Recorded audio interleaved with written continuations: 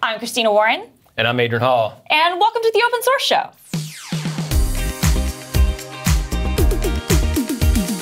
I'm Christina Warren, Senior Cloud Developer Advocate, and I'm joined today by Adron Hall, Technical Evangelist at DataStax. So, what is DataStax? So, DataStax is a company that has a Cassandra solution that extends Cassandra with graph, analytics, and search and also provides operational tools and things like that to help you do more with your distributed database implementation. Okay, and so Cassandra is a uh, distributed NoSQL database solution, right? That is correct. And it's open source. It is open source. It's also yes. Happy birthday time.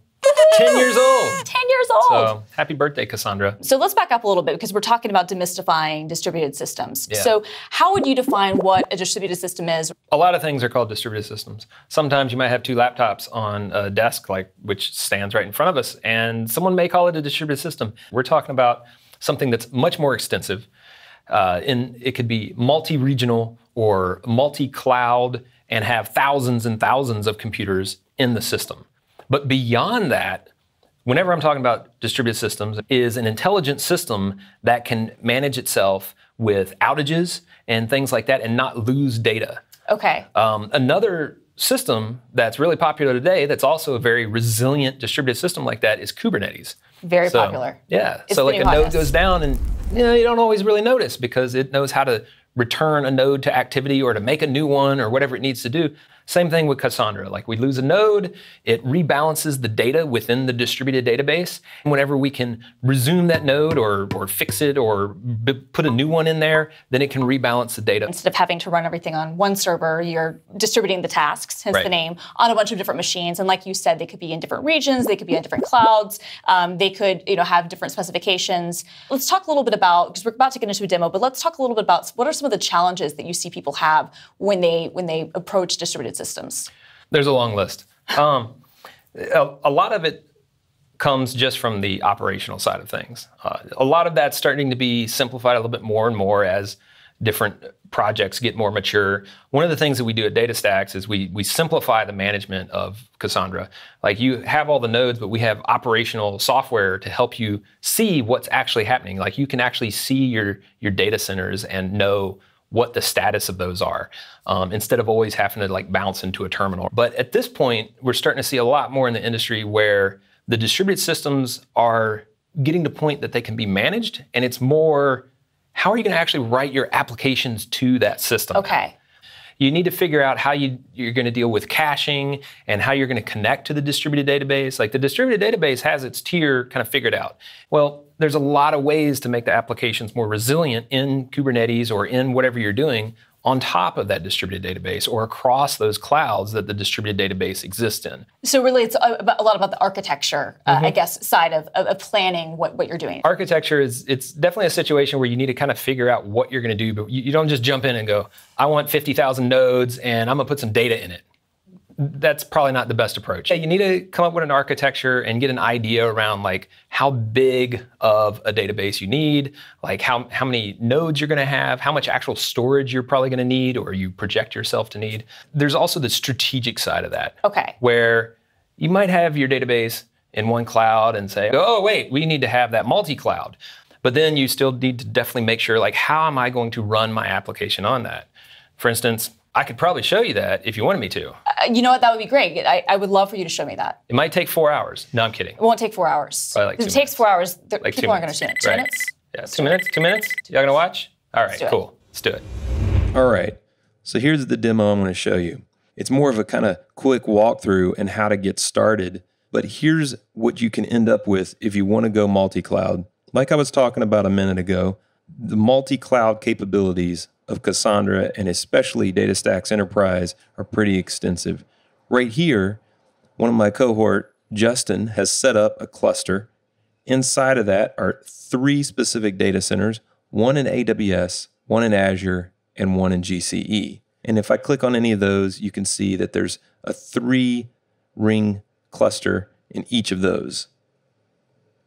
So and this all works as one single database. So we have nine nodes or nine servers that have a distributed database store across all of those.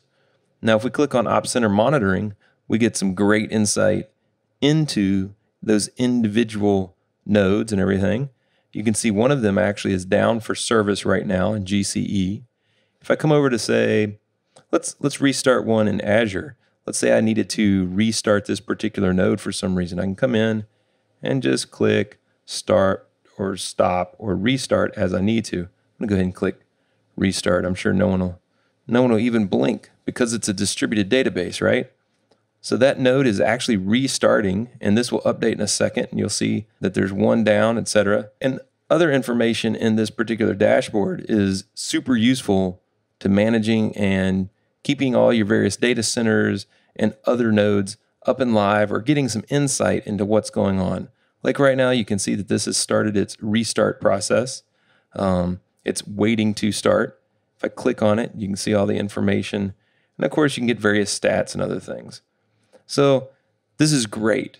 I have this multi-cloud setup, but how do I get started if I just want to do some development like on a local machine, right? So I wrote this blog entry called a collection of links and tour of the Docker images that we've created at DataStax. The two key things that I want right now, just to show you how quick you can get started, is we'll take a look at the Docker Hub and the actual GitHub repo where we have some sample Docker Compose files to help you get started.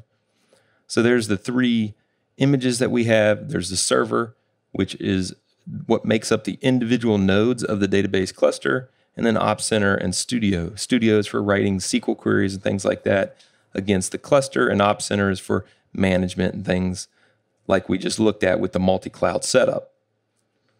the repo over here, just called Docker images, and it has various sample things set up. I'm to actually pull that and open up a terminal. There we go. And then I'm just to make a directory, call it getting started, navigate into that, and then I'm going to clone that repo.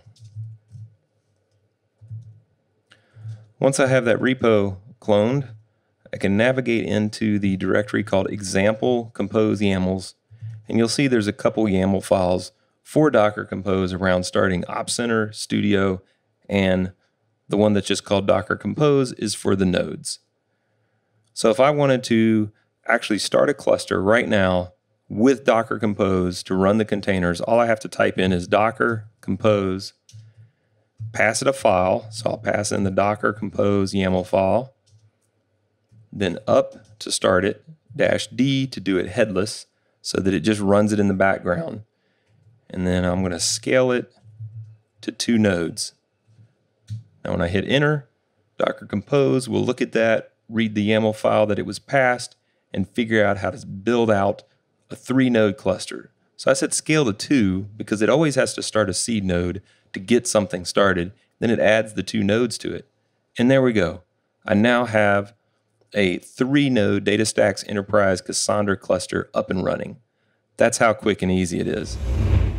Well, that was awesome. We were talking about some of the reasons you would use a distributed system right. and the history of, of Cassandra. Can you maybe talk about reasons why you would not use a distributed system? Let's say you're going to have 10 people using an application, and I don't know, maybe you're only going to have five gigabytes of data. Something that could literally fit on a laptop today. Right. You don't need to go to building out a full distributed system for that. But when you start to move to a scale where you might have thousands or millions or billions of users, there are billions of us around, you, you need to start figuring out how the resources are going to be allocated and what you can use to have that scale.